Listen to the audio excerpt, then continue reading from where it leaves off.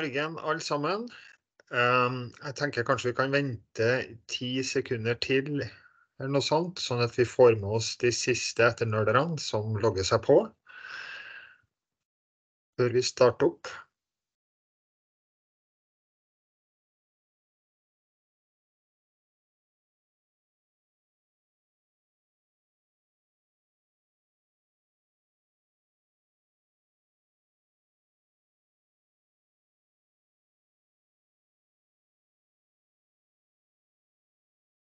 Da tror jeg vi bare går i gang.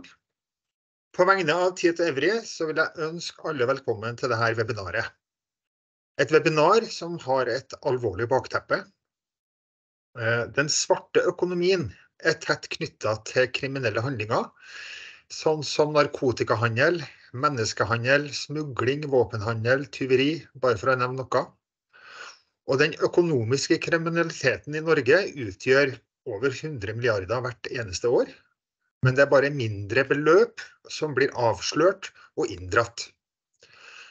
Politiets trusselsvurdering fastslår at Norge er et attraktivt land for aktører som vil begå økonomisk kriminalitet, fordi vi har en høy levestandard, vi har en god økonomi, og de kriminelle forsøker å flytte sine svarte penger inn i den ordinære økonomien gjennom såkalt hvitvasking. Økokrim har sett en betydelig økning i antall mistenkelige transaksjoner som blir innrapportert de siste årene. Og her er det store mørketall, og den svarte økonomien kjenner heller ingen landegrenser. Så alle ansvarlige aktører her, enten man er en bank eller en bedrift eller en advokatfirma, teknologileverandør eller myndighet, legger ned store ressurser i bekjempelse av den økonomiske kriminaliteten. Før vi går videre og starter på selve webinaret, så har vi noen praktiske informasjon.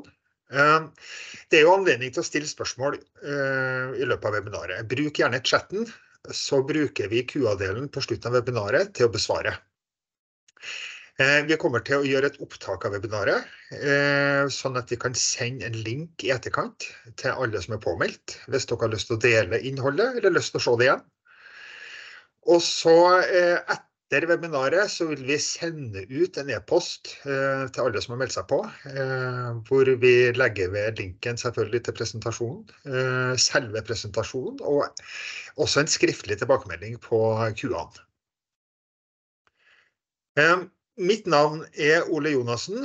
Jeg jobber i Tietoevry Every Data Services, og jeg jobbet med data i snart 30 år. Har egentlig bakgrunn fra kredittinformasjonsbransjen. Kom til Tietoevry, nå er det snart 17 år siden, og har jobbet med å tilrettelegge datatjenester, både til offentlig og privat sektor, men spesielt inn mot bank- og finanssektoren. I tillegg så har jeg et fagansvar for de datatjenestene som benyttes innenfor AML eller KYC, kjenn din kunde. Og så har jeg med meg en kollega, Per Stenerud, som dere i advokatbransjen kjenner godt til fra før, som skal hjelpe meg både med oppfølging og vil ha ansvaret i etterkant av webinaret.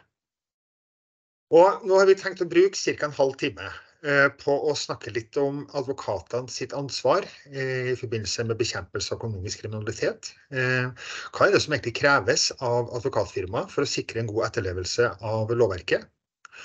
Og så vil vi fortelle litt om hvordan vi i Tietoevry Data Services jobber med disse problemstillingene. Og det er jo spesielt kjenn din kunde-begrepet som vi jobber med i denne store verdikjeden som bekjempelse av økonomisk kriminalitet er.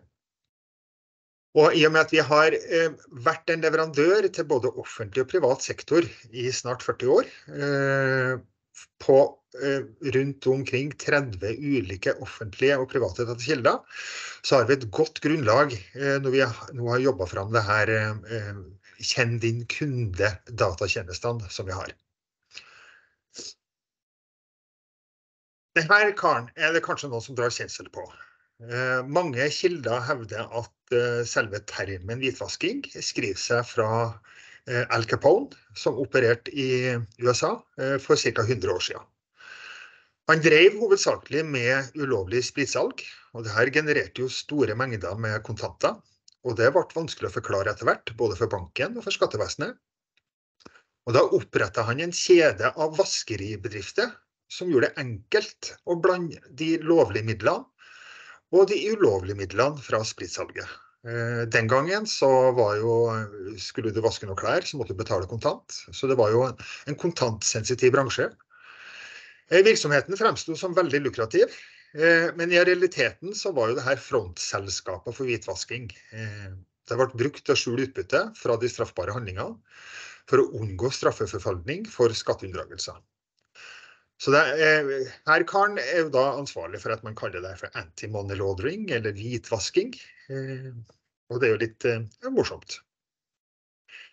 Det her bekjempelse av økonomisk kriminalitet, det er jo en felles dugnad. Det er et betydelig samfunnsproblem som krever et samarbeid både mellom næringsliv og myndigheter.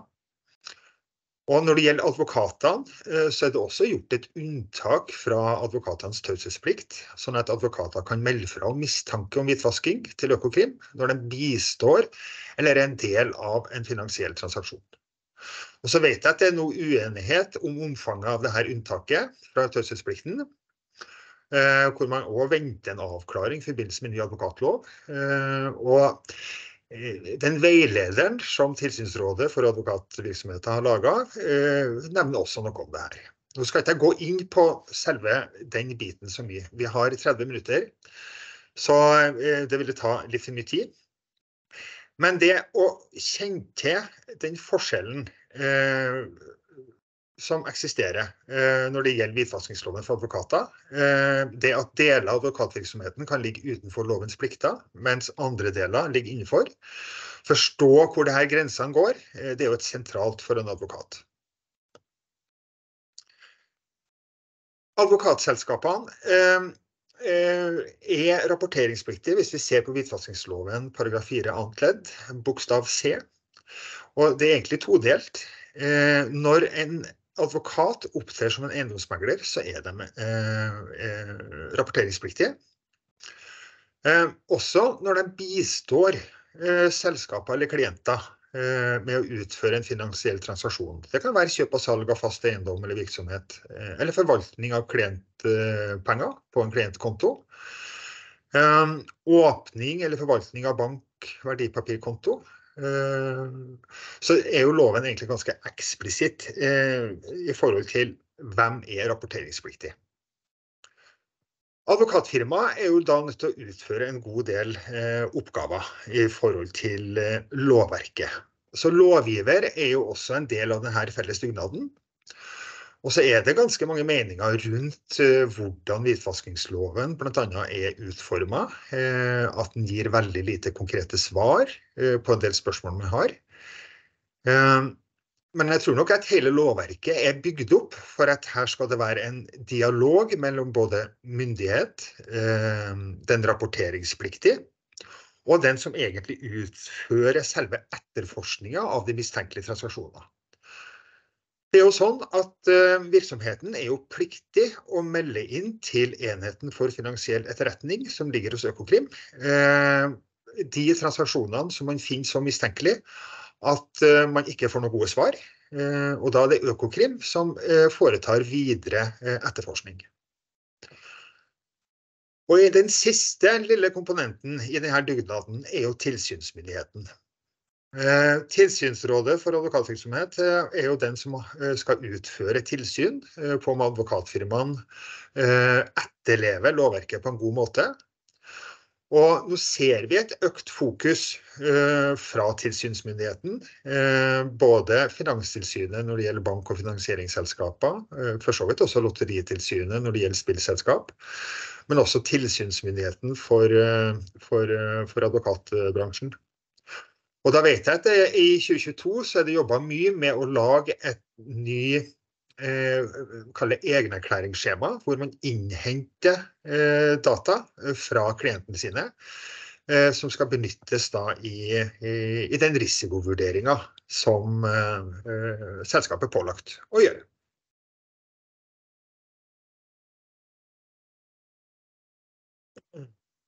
Hvordan kan advokatfirmaet sikre en god etterlevelse av hvitvaskingsloven? Jeg har egentlig sett på fire punkter som er helt nødvendig, sånn at man kan, kan si at man etterlever loven på en god måte.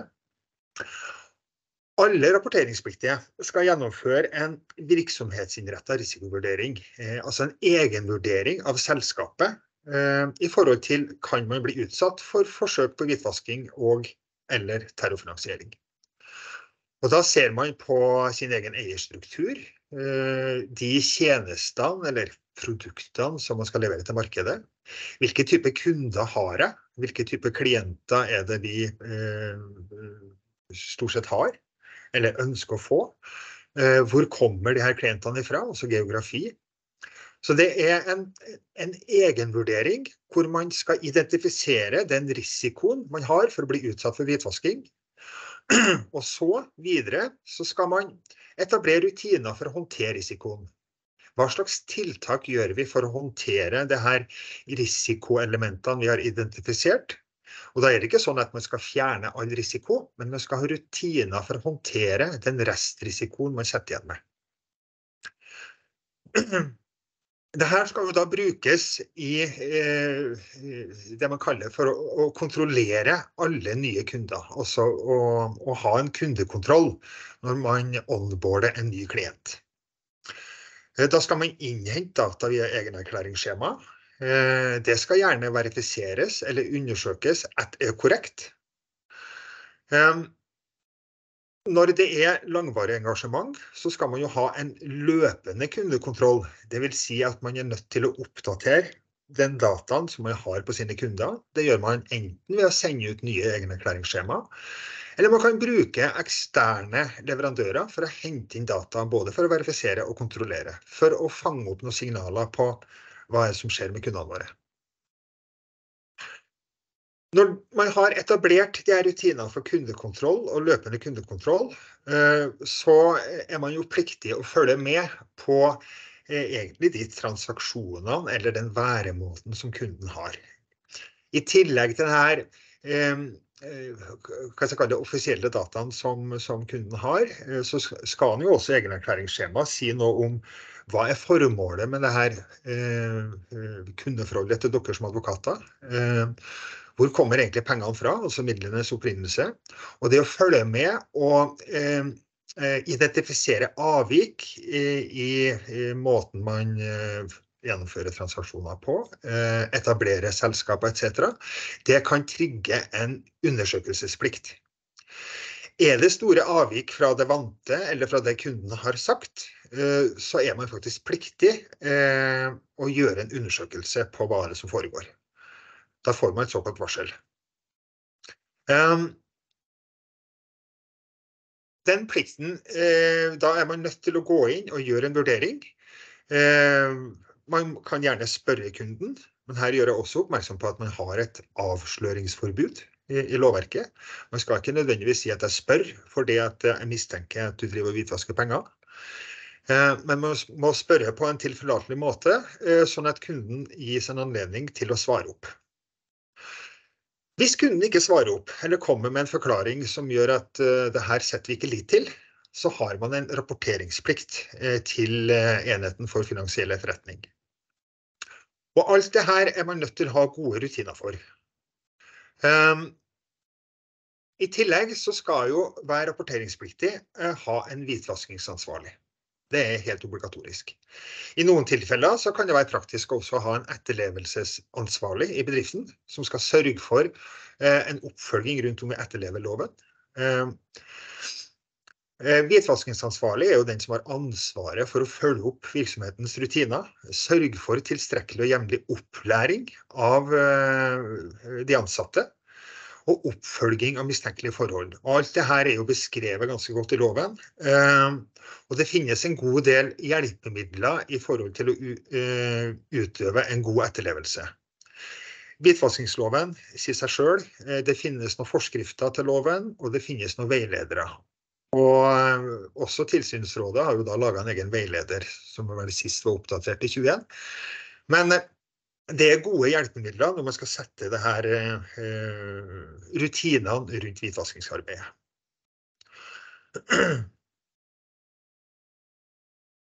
Kjenn din kunde er jo et helt sentralt begrep. Um, når det gjelder personmarkedet, eller eh, privatpersoner, så eh, sier jo loven egentlig, eh, så er det litt enklere i forhold til hva man er pliktig å gjøre.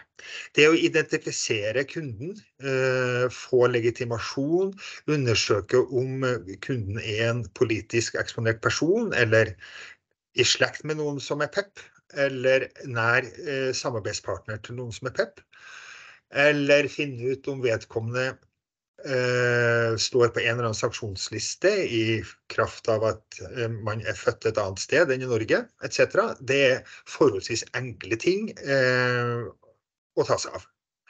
Når det gjelder foretaksbiten, så er det det mest sentrale der er det her med god etterrettelig eierskapsinformasjon. Det å avdekke reelt eierskap. Og det er særdeles viktig. Opprettelse av eh, skallselskaper, opprettelse av stråselskaper, mellommenn, eh, eh, kan gjøres utrolig komplekst for å skjule et eierskap.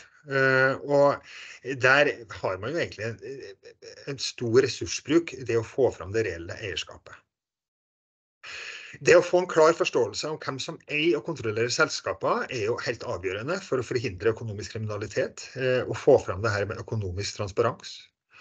Skal man investere i et selskap, så er det viktig å vite faktisk eieren av det selskapet. Eh, er det noe risiko ved å investere? Eh, eh, og det å få fram det reelle eierskapet kan jo påvirke beslutningene i stor grad. Forebygging av korrupsjon, det er også en helt klar del. Eh, når eierskapet er klart og åpent, så er det vanskeligere for korrupte eh, mennesker eller grupper av mennesker å skjule eh, de finansielle interessene og involveringa man har. Og så kan man snakke om markedstillit. Er det sånn at et nasjonalt reelle rettighetshaverregister er med på å øke tilliten til markedet? Så lenge det eh, tuftes på eh, en egenrapportering fra selskapene sjøl, så kan man stille spørsmålstegn ved det. Så det her med reelt eierskap er jo helt sentralt i Kjenn dine kunder. Eller når dere som advokater skal ha, ha inn en ny klient, eh, eh, som er et foretak. Jeg skal gi et lite eksempel. Det er et mye brukt eksempel fra når vi starta å jobbe med eh, reelle rettighetshavere til bank eh, for over ti år siden. Vi har brukt Ole Vigs gate. Og hvis vi ser på en tradisjonell tilnærming eh, til det her med reelt eierskap, eh, så eh, kan vi her se på selskapet at den har en én stor eier, som er AS Hannibalgården. Hofly Fleischer fremstår her som en veldig marginal eier, med en eierpost på 4,7 ehm, og Ole Vigs gate eh, har et datterselskap som heter Atlantic Oil and Investment, hvor de eier 98 eh, Og så har de eierinteresser i to andre selskaper, bl.a. Hannibalgården, som også er en aksjonær i Ole Vigs gate, eh, og Pilestredet. Hvis vi ser litt på det her med indirekte eierskap, i forhold til denne tradisjonelle tilnærminga, så viser det bildet noe helt annet. Uh, Ole Vigs gate har som sagt uh, eier en liten andel i Pillestredhjørnet. Det eier en andel i Handballegården, og det eier en andel i AS Atlantic Oil, en stor andel. De her selskapene er satt opp til å eie hverandre. Og faktisk så eier Ole Vigs gate 14 indirekte over 95% av seg sjøl. fru Fleischer har en liten eierpost i Ole Vigs gate på 4,7% og så har hun en eierpost på 4,7% i Pilestredhjørnet. Og gjennom de to linkene så kontrollerer hun Ole Vigs gate 100% Så det her med sirkulært eierskap gir en stor forskjell på direkte og indirekte eierskap. Dette var bare et eksempel for å vise dere at eh, det å avdekke det reelle eierskapet er en vanskelig øvelse. Så hva er det vi i Data Services eh, gjør i forhold til eh, de utfordringene eller de eh, oppgavene som advokatbransjen har? Vårt største bidrag er jo nettopp på det her med kjenn din kunde-biten.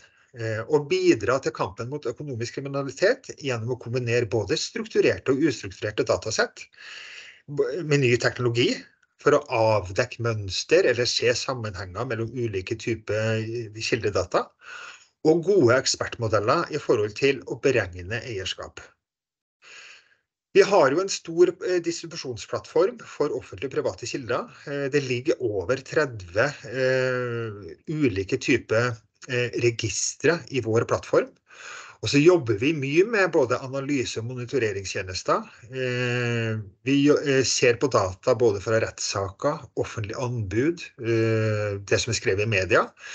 Men det viktigste er at vi produserer en del visuelle eierkart. Det å få en visuell fremstilling av datasettene for å forstå sammenhenger på en god måte.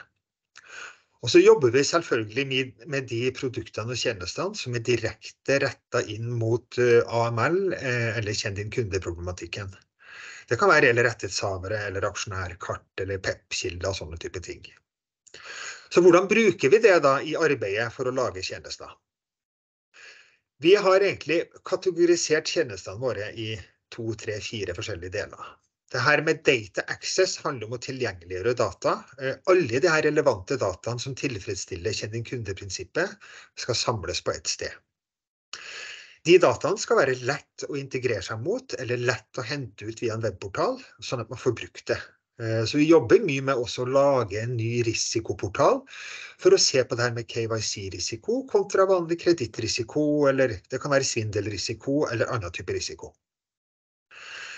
Et viktig område som også er en del av lovkravene i hvitvaskingsloven, er det her med løpende kundekontroll. Og der har vi et tjenestespekter på data governance, hvor vi kan gi varsel når ting endrer seg på de her datasettene man bruker i onboardinga. Eller når det oppstår et brudd i datakvaliteten i forhold til den policyen som ligger. Så det å overvåke og korrigere og verdiøke dataen er et eget fagområde. Og så jobber vi med det her med data intelligence. Vil si, kan vi lage et rødt lys, gult lys, grønt lys i en kjenn din kunde eller AML-kontekst? Vi har mye eksperter in-house som jobber med data analytics, som har domenekunnskap rundt det her, som jobber med lovverket for å se hvordan kan vi friskmelde eller sykmelde eller sette noen på kontroll i en hvitvaskingssammenheng. I tillegg så berører jo det her alle datasettene noe med personvernet. Så vi jobber også mye med rådgivning rundt bruk av data, at all behandling av personopplysningene skjer i tråd med de regulatoriske krav og de forordninger man blir stilt overfor.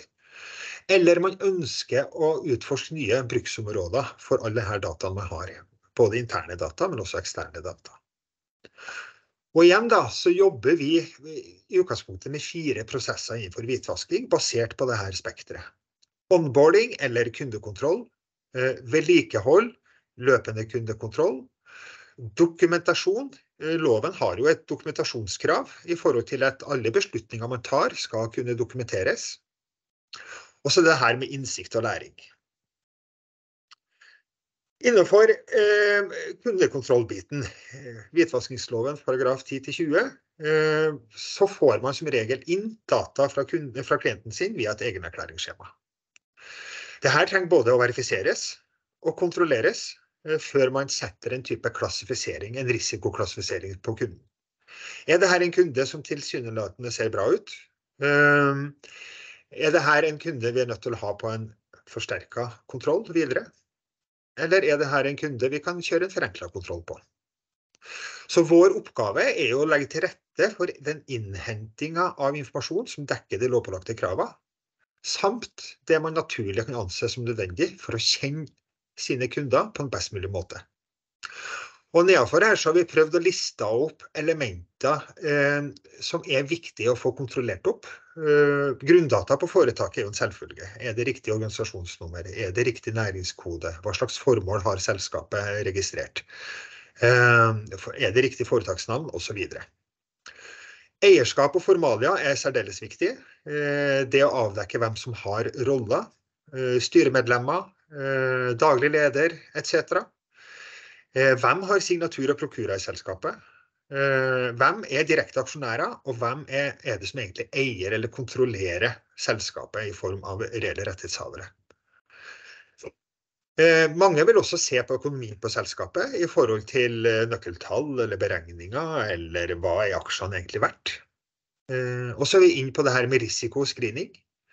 Vi må ha selvfølgelig det med PEP, politisk eksponerte personer, sanksjonslister er jo helt klart en del av, av screeningjobben.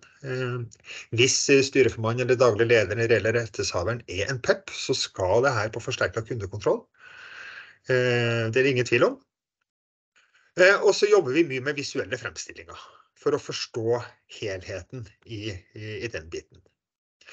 Hvitvaskingsloven paragraf 24 sier at man skal ha en løpende kundekontroll, det vil si løpende vedlikehold på sine data.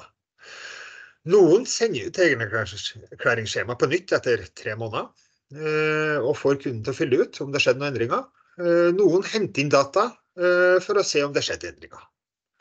Det vi er veldig opptatt av er at de datasettene vi benytter i de ulike systemene sine, om man har en egen kundebase eller sjekker en type webportal eller har det direkte i fagsystemet, dataen skal være konsistent. Det skal samtidig være synkron, sånn at man slipper å bruke tid på manuell avvikshåndtering på de datasettene man benytter seg av.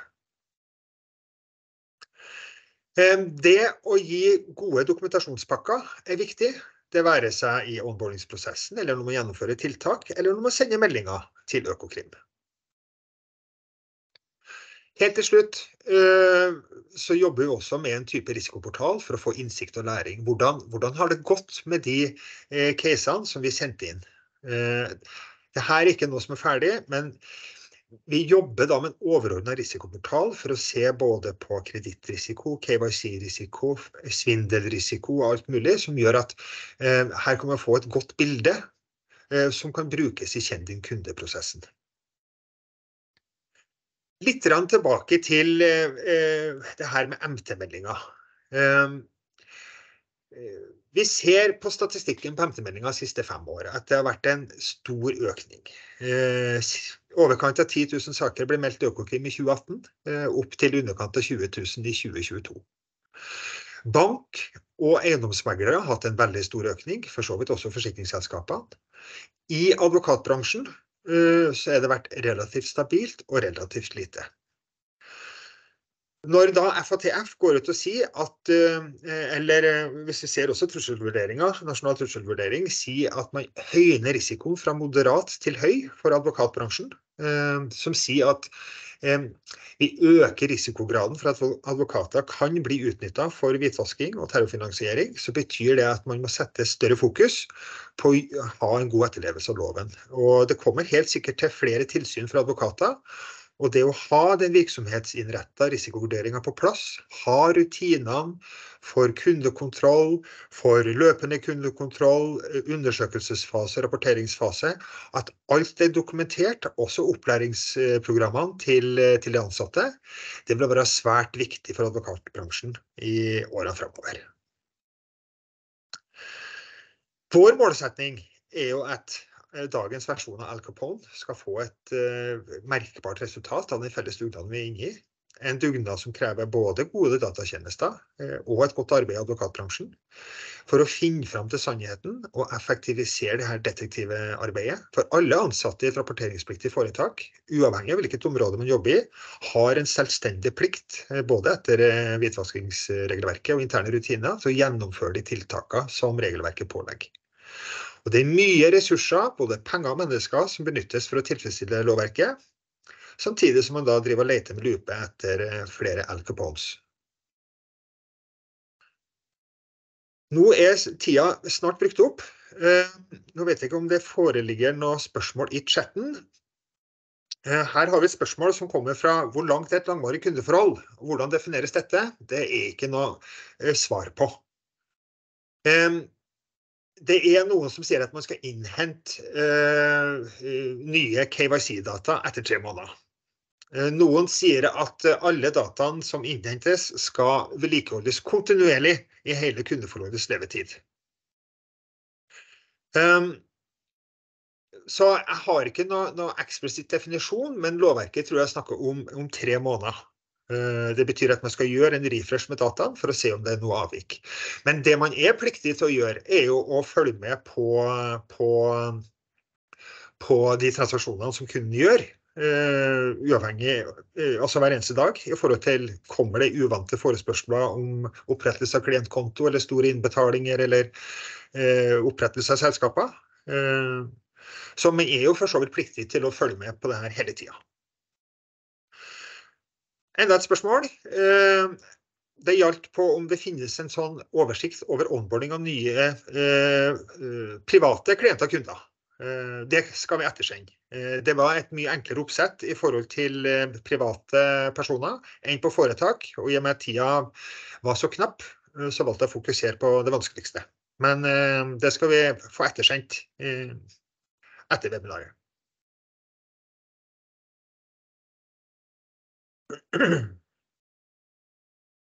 Skal vi se. Um, helt til slutt. Uh, vi sender som sagt opptak og presentasjon fra webinaret sammen med uh, det spørsmålet vi fikk, som gikk på oversikt over privatpersoner. Hvis det dukker opp spørsmål i etterkant, ta gjerne kontakt med Per. Uh, mailadressen står her, eller meg. Så skal vi gjerne ta en prat i forhold til hvordan vi kan hjelpe til Eh, det gjør vi gjerne. Da ønsker jeg dere en god høst. Jeg ønsker dere et godt arbeid med å være detektiver i å finne flere Al Capones. Eh, så sier vi takk for i dag.